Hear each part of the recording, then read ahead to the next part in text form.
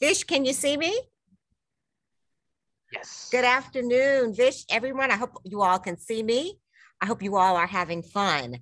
But I do mm-hmm. want to thank uh, some of our supporters who are sh- have shown up today in mass and in force mm. because Black Health matters. I must thank the Central Area Links you all have turned out for us and are supporting your communities with all the wonderful health and health programming. And we hope that being a part and a support of the Black Health Matters summits is helping make stronger connections as you talk with your communities.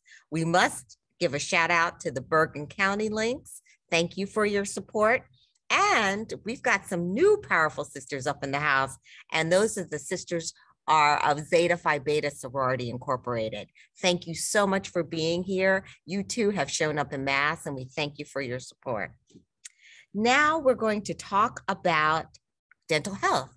It's something that we really don't share enough information about. And it really is the gateway to our smile. It's our smiles. It's the gateway to our heart. There's a wonderful mind body connection when you've got a great smile and great oral hygiene. The first thing that is often noticed about a person is their smile. Think about it. Smiling is one of the easiest things that we can do. You've been smiling since you were a child and well into adulthood. You probably smiled today and you're smiling at the person next to you. So it's something that we just love to do. But have you ever stopped to wonder what your smile says about you? What your smile says about your health? We are so pleased to present Dr. Susan D. Stukes, the de- de- dental director at Covenant House Incorporated and the CEO at Siva Life Integrative Wellness. Good afternoon, Dr. Stukes. So nice to meet you. Thank you. And thank you for having me and remembering that how important oral health is to our overall health. So I really appreciate that. So I'm going to be sharing today with you not so much about dental treatment, but about how you can maintain your smile. Some prevention information, but two key, two key uh, aspects of oral health that sometimes get overlooked. So I hope you get uh, some benefit from the information I'm going to be sharing with you. There we go. So to start off, what we already know about oral health and hygiene needs are the basics, of course. You know, have to eat right, no sugar, get your checkup, brush and floss. And unfortunately, a lot of us in the dental profession have only given you those few tools to use to manage your, your oral health. And there's a lot, lot more to it than that. And, and when we talk about African Americans and oral health, you know, of course, we struggle uh, to in, in all areas of health, but in oral health as well, we have some challenges. You know, we're much more likely to have cavities, even well up into our mid ages of four, uh, up to 44 years of age.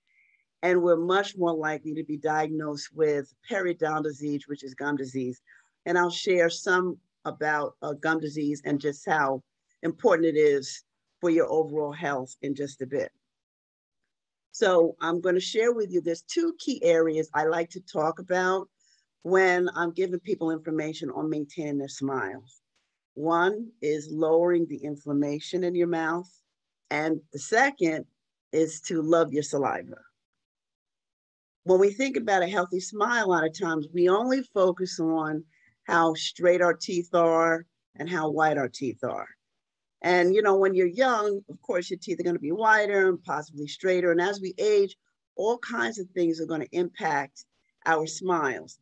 But for me, I like to tell people white teeth and straight teeth are nice, but those are not really um, the only indicators that you should focus on to make sure that your smile is actually healthy. Because really, the, the, the fact of it is, there are over 700 bacteria that live in our mouth. And you've got your muscles, you have your nerve endings, you've got blood supply, and all of this is going on as we're, as we're sitting here right now. The bacteria and all those other factors, they're all fighting in our oral cavity in that environment to find balance. And things like good nutrition, sleep, even stress, all of those things every second of the day are, are impacting how all of those factors interact in our mouths. And when those things are in balance, you've got a beautiful, healthy smile. And when they're not, this is when we start seeing cavities, gum disease, ulcers. Um, some of the things that can, can really affect our smiles are medications. A lot of times we don't realize a lot of medications have oral health um, complications. Stress, I talk a lot about stress. Stress really impacts our smiles because here again, the mouth is not just the teeth and it's not just uh, it's just not the teeth it's just not how straight they are so stress what we eat our diets and even as we age and we start developing some illnesses like diabetes these are all um, things that can upset that balance in our mouths and set up an environment for bad things to happen um, and some of the things that can happen are cavities gum disease some oral cancers and as I was sharing, as African Americans, we're unfortunately at the top of the list for the cavities and the gum disease. But what I want you to understand is that a lot of it comes from these imbalances in our mouth. Cavities uh, are an infectious disease. So even the cavities, they're a result of these bacterias running have wreaking havoc in our mouths. The good thing is that we have some control over all of that. So outside of the brushing and the flossing, there's other things that we could do. Now, this, this the overgrowth of the bad bacteria can look like this in your mouth, where you and, and I encourage all of us to. I know we rush and we brush really quickly, but take some time and look at our mouths. Just like you do a self-breast exam and you, you take your blood pressure, it's really good for us to note any changes in our mouth. Do a little dental exam. Are you seeing things like this? Little redness, puffiness. Um, are you seeing where maybe you brushed, but you still see some plaque there? Maybe you have to go back in. Okay. But this kind of thing, when you see these this redness, that's called gingivitis. And that's the early signs of this inflammation and gum disease. So when you see this, gingivitis, you're going to say, uh oh, maybe I need to get in there a little bit more. Maybe I'm overdue for a cleaning. Maybe I'm taking a new medication and I need to think about maybe that ha- has having an impact on my smile. And once again, looking in there and noting. And especially if you're taking medicines and you have a chronic illness, you do want to pay attention to any changes that might be going on in your mouth. I, sh- I share this slide because this patient has a lot of very expensive dental work, crowns, veneers. But as you can see where the arrow is pointing, this patient's gums are red. And eventually the gums are going to shrink and you're going to see horrible margins. The teeth are going to get loose. So even though we invest in the dental treatment and the dental care, we have to invest in the self-care of our smiles to maintain all of this stuff. And like I was saying, the, the gingivitis is the early sign. And then unchecked, you can go into gum disease or periodontal disease. I like to, to compare uh, inflammation to, say, high blood pressure, because you may not even know you have it. And really, a lot of people don't know they have um, gum disease. It goes very silently, just like a lot of people that don't know they have high blood pressure. But silently, this inflammation process is, is, is destroying your bone and your tissues. So over time, you may not realize it, but all of a sudden one day you might say, you know what, my teeth, I see a space in, in between my teeth I didn't have before. That means this, this gum disease has really progressed. Okay, teeth are gonna get loose, you're gonna start getting infections. So, and all of these things we can prevent if we stay on top and I'll give you some other information and watch and look out for any early signs.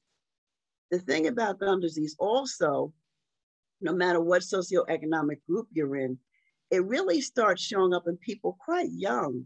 So some people even as early as 30 can have um, some problems with gum disease.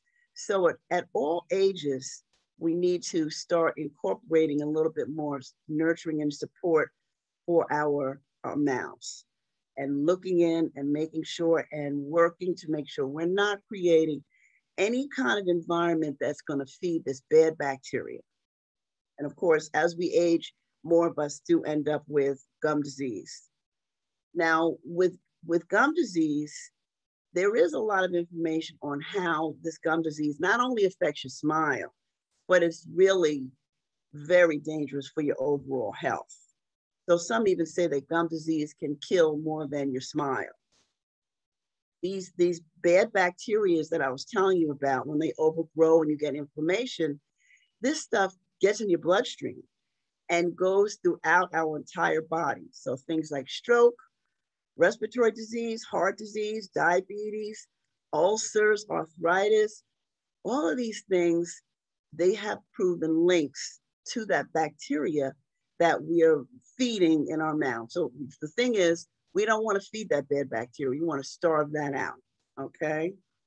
Um, and, and the thing with heart disease, and, and for a lot of us, we're already at a higher risk of heart disease and we're at a higher risk for gum disease. So if you put those two together, they're saying gum disease makes you at an even higher risk for heart attack, stroke, and cardiovascular events. So for us, if you put those two together, it's just you know, we, it's just a nightmare, you know?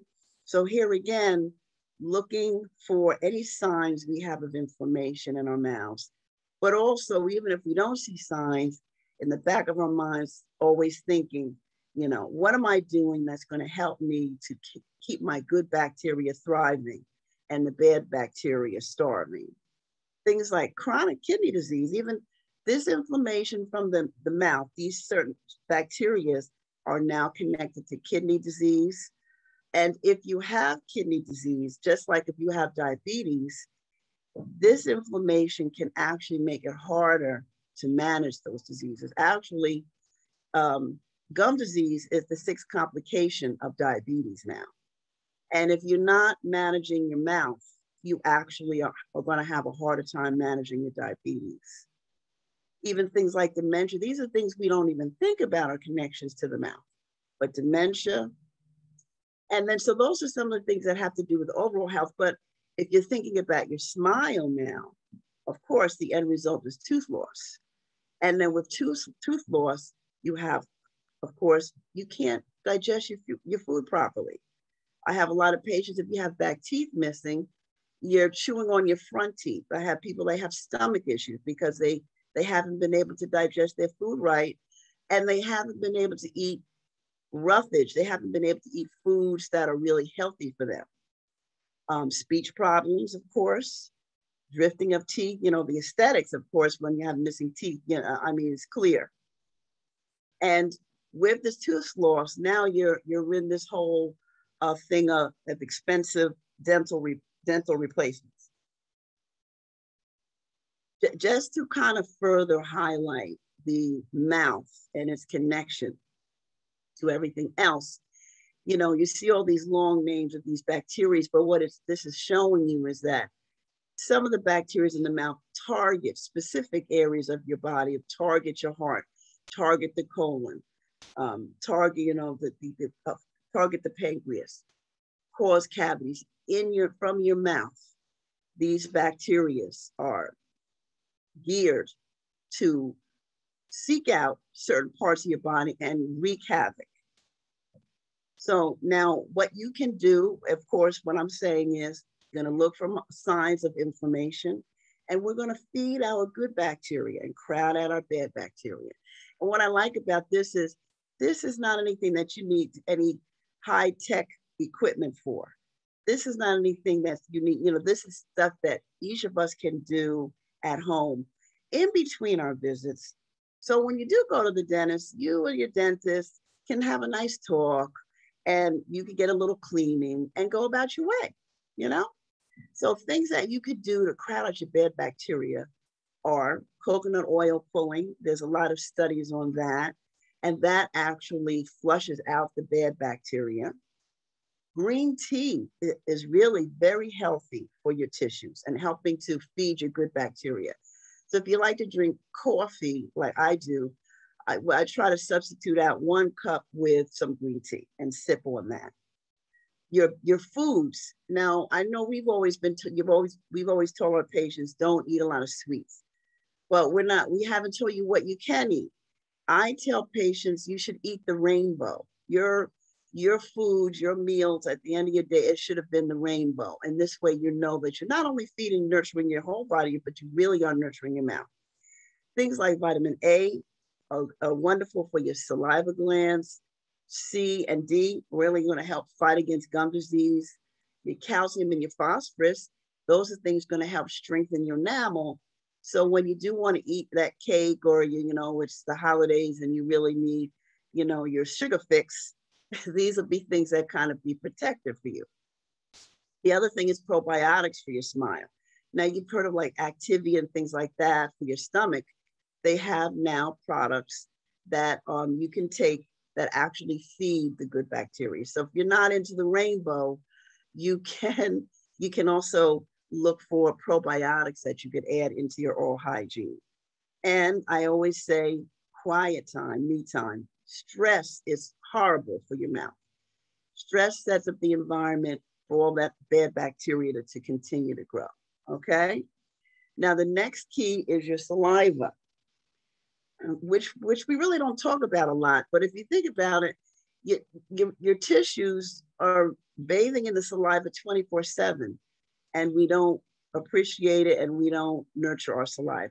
Your saliva is what really protects us from cavities. It's got uh, a pH level, which is buffering. So when we want to drink soda and all that stuff like that, it's our saliva that helps bring us back to a healthy uh, pH level so that bad bacteria can't grow.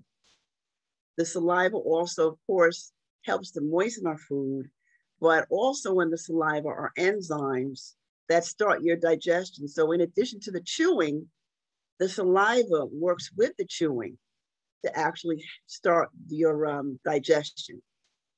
So the saliva is, is super, super important.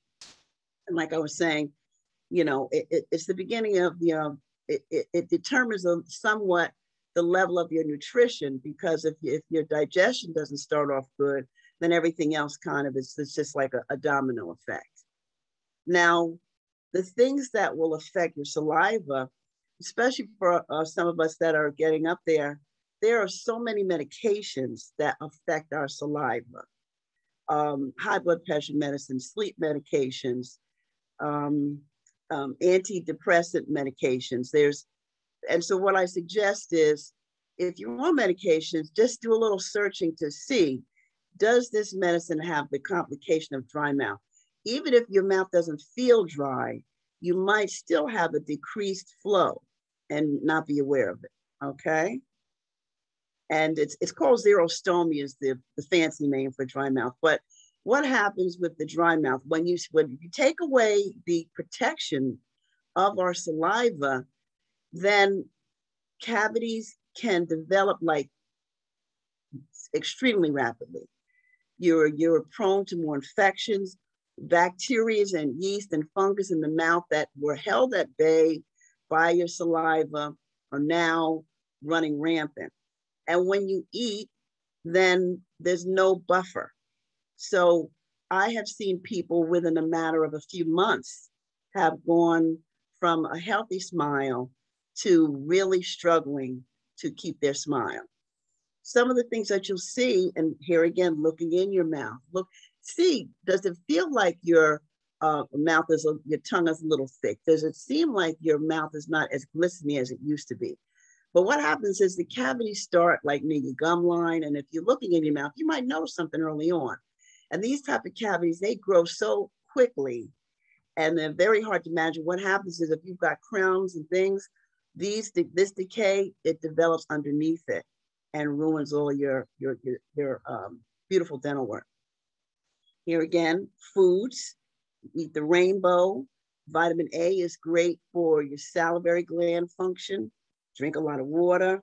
And the main thing is, a lot of people will say, I suck on mints to help uh, um, make my have so I can have a little more saliva function. But what you have to do is it cannot be any sugary. If you have dry mouth, sugar is not your friend. So you would have to have sugar-free hard candies to stimulate your saliva. Sugar-free. If you are having any signs of dry mouth, no sugar, no acid. Now there, and this is just showing stains and discolorations can also be a result of dry mouth as well. But on the on the good side, there are saliva replacements. Uh, Biotene. Biotene comes in a lot of different forms. There's Saliva Max. There's quite a few um, things that you can also get if you have dry mouth to help protect you. Are things like uh, it's an MI paste. It has extra calcium and phosphorus in it. And also, I share some recipes with my patients too, where they can make their own paste.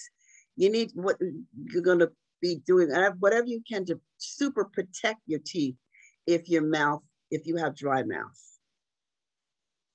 The, the other thing I want to share about saliva is that not only is it protective, but saliva is wonderful for us to find out exactly what we have going on in our mouths and, and in our bodies there's something called the, it's called periopath. And I know people don't like to spit into little vials, but this is great because it, it's sent to your home. You spit into the little vials, it's sent out. And what comes back is the actual report on the type of bacteria you have. And it will also tell you, are those bacteria connected up with any negative effects to your organs? like as I was sharing, some bacteria target your heart, some might target the kidneys. Well, this type of report will then show you that your the bacteria that you have in your mouth is, is healthy, or the bacteria that's not healthy, is it is it bacteria that's going to put you at a more risk of some of these, you know, debilitating um, conditions. And then what it does is from there, you can more specifically target how you're going to manage your mouth. Some of some of it might be medications that the dentist prescribes, but a lot of it would have to do with like foods and rinses and things like that. So it's another tool you have to protect your mouth to from by using the saliva. And here again, as you can see, this whole focuses on this bad bacteria in, in our mouths and we just never really think we we're, we're honed in on our teeth we really we just never think about what's really going on in there you know and this also kind of like um um Ms. Daniels, Daniels was saying is tell you about what you have going on in the rest of your body, you know, or, or, am I at risk of these other things? So it's it's it's it's quite helpful, and I, I do recommend that. And so just to summarize, although your white teeth are or can be beautiful, and there's many ways to get white teeth. You know, if you don't have white teeth, of course you can bleach, you can veneers, there's all kinds of things. But at the end of the day, whatever you do, if we're not feeding our good bacteria and we're letting inflammation run havoc, it doesn't matter what you spend your money, you know, what you do. We have to have a good foundation for our teeth. And so from there, and after that, you can do whatever you like, you know? And remember your saliva. Just note, and certainly if we're taking certain medications, certain things like if we, we're having radiation treatment, things like this, we want to make sure that our saliva is not affected. And if it is affected, we want to jump on that 100% with some of the protective things that I have shared. You know, and, and the beauty of this is by doing this, you're not just nurturing your smile, you're, you're, you're nurturing yourself, mind, body, and smile, I like to say. So I hope that's been um, helpful. And if you have any questions, I would love to talk with you.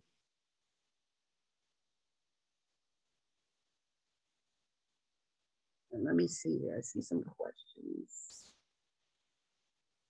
Okay, let's see. You on the teeth? Okay.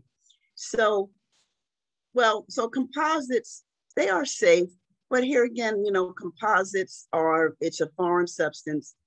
And, you know, some of these oral medicine, um, uh, oral biologists will even do testing on the composite material just to make sure that you and your body doesn't have a reaction. So, you know, it, it's still something that's foreign now. Back in the day, you know, we used amalgam for everything, and that you could practically have explosions and they wouldn't, you know, nothing would happen. But composites are safe. But the thing with composites is you do have to get them checked. They just are not going to hold up as long as those ugly silver fillings. And they do stain over time. So you have to, you know, be careful of what you eat. Um, let's see. Oh, implants. Now here again with implants, you know, if you're not, I, I recommend a Waterpik uh, because that flushes out all around those types of uh, implants as well as around the crowns. Because here again, with, with implants, you can get infections and these infections can lead to them failing. So oral hygiene is very important. So for you, I would say a water pick would be something that would be helpful. Um, things to ways to help manage your mouth. So I shared some of these things, and those are uh, depending on where you are and how how deep you want to get into things. There's simple things, like I said, adding the um, the green tea. So with the coconut oil, how that works is you put a little tablespoon or so in your mouth. Now it comes kind of solid in a jar, but it's it melts very quickly in your mouth. And when you put that in your mouth, it's going to melt quickly, and you're not going to gargle with it. You're going to go like that and swish it through the teeth. And I tell people to do that when they're getting dressed or something, because the longer you keep it in there, the more you can um, flush out that bad bacteria. And then you're going to spit it out and rinse. Don't swallow. And that's how you would do coconut oil pulling.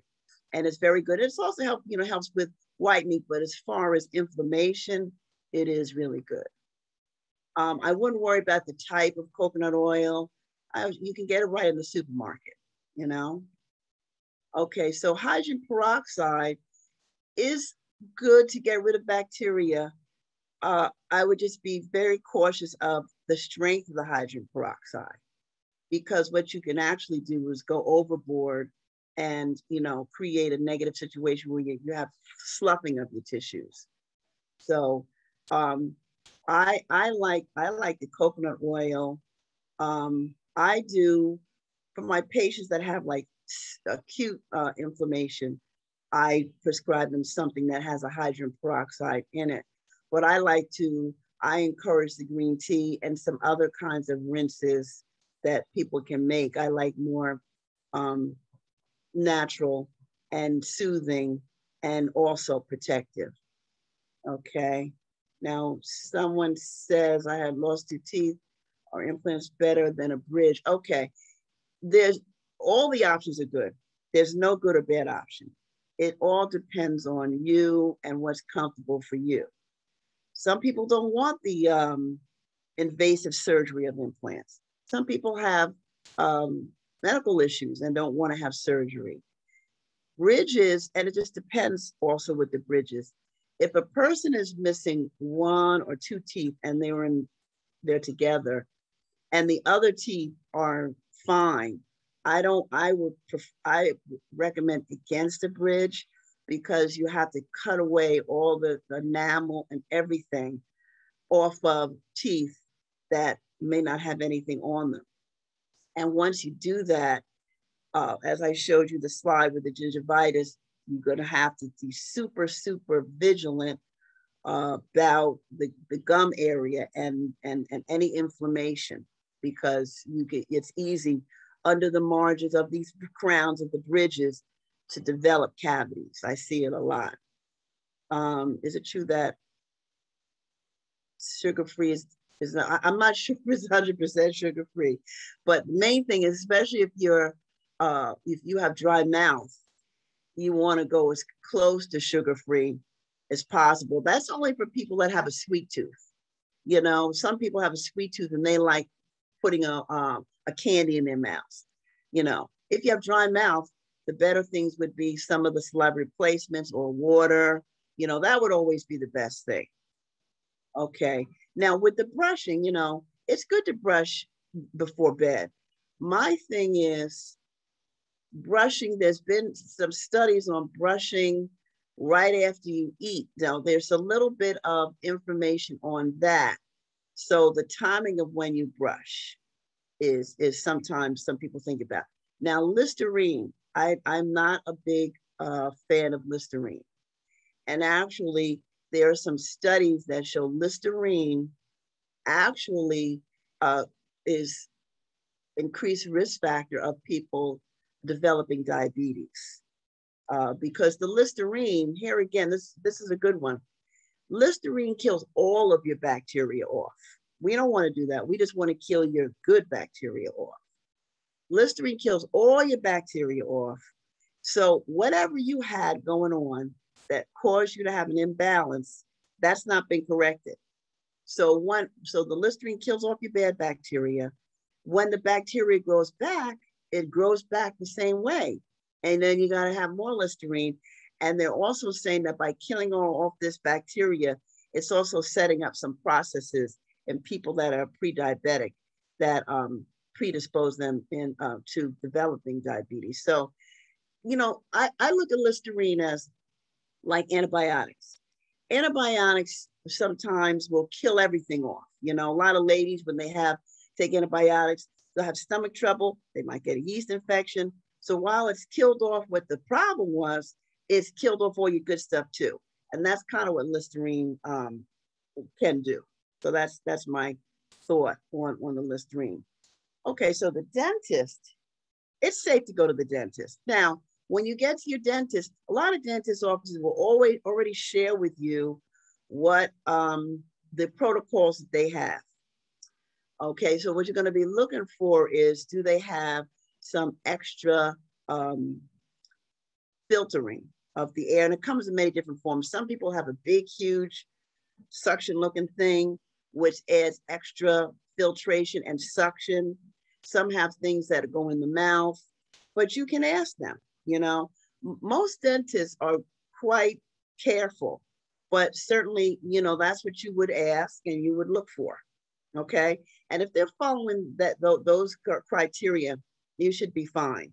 I know the ADA was was very strict. I mean, we couldn't we couldn't practice at all. We couldn't even use a drill. So, you know, the the, the ADA has been very careful and and and allowing us to do, you know, move back into a normal life, you know, but that's what I would say.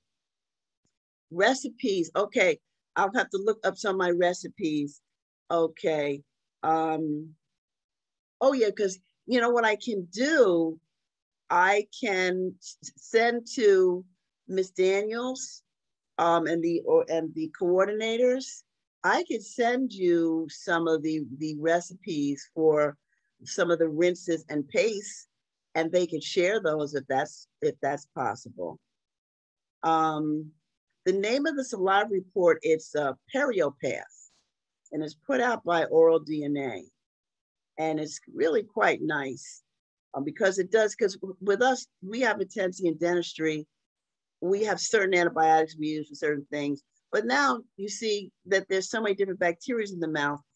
Having that information on the actual bacteria might change the, the um, medications we might prescribe, or we might use a different rinse or something like that you know, so it's all really very helpful. Um, so to decrease bone loss around your teeth is pretty much what I've shared. You want to continue to look in your mouth, make that maybe a once a month or something like that, where you're gonna look in your mouth, you're gonna check, make sure you're not seeing any signs of inflammation. You're gonna make sure that you're using, you know, so use a coconut oil or anything anti-inflammatory in your mouth to keep low, lowering the possibility of you having inflammation and this damage. And certainly you're going to get your checkups because they're going to do some measurements and they're going to take x-rays and then you'll be able to know your bone levels. But in between, you'll be able to get in there with the, some of the information I shared. That's how you're going to decrease your bone load. the inflammation is what what destroys your bone. If you control your inflammation, you control your bone loss in most cases. Okay, toothbrushes, soft. That's it. That very quick answer for that one. A lot of people think a hard toothbrush is good. No, that's damaging. And certainly if you, as we age and our gums start shrinking away and some of our roots are a little exposed, if you're using a hard toothbrush, you're going to really create some serious issues, you know? Now, someone's asking about full mouth extractions. I would really have to see exactly what you had going on for something like that, you know? Um, some of the recipes, yeah, I, I use are a mix of like baking soda, coconut oil, sometimes a, a magnesium powder, mixing that up and either rubbing it on the teeth or adding it to, to a toothpaste, these types of things, and it actually have been shown to help remineralize the teeth. If you have areas of your enamel, and here again, if you're looking in your mouth and you're noticing little white patches or areas that you didn't see before, those are areas that could be strengthened by some of the things that I've shared. Cutting down your acidic foods, acidic things, eating eating the rainbow, doing more buffering kinds of drinks and things, water, all of that stuff helps to re actually remineralize the enamel. So I think I got through a, uh, majority of the questions. I don't know if there's any others. Um, and I think that's I think that's it. So I really did, I appreciate all the um, questions. Let me see, I see in the chat here. Okay, I'm sorry, in the chat, I'm looking, sinuses. Okay, so your sinuses, what happens is the sinuses in the top of your mouth, the roots of your teeth in the back, are some of them are right up there next to those sinuses when your sinuses get, oh, time is up. Okay. when the, get, the sinuses get full, then this is what causes the pain. Okay. And, and I'm telling you my time is up. Okay. So I thank you all. And, you know, you can certainly reach out and I can entertain any other questions that you might have.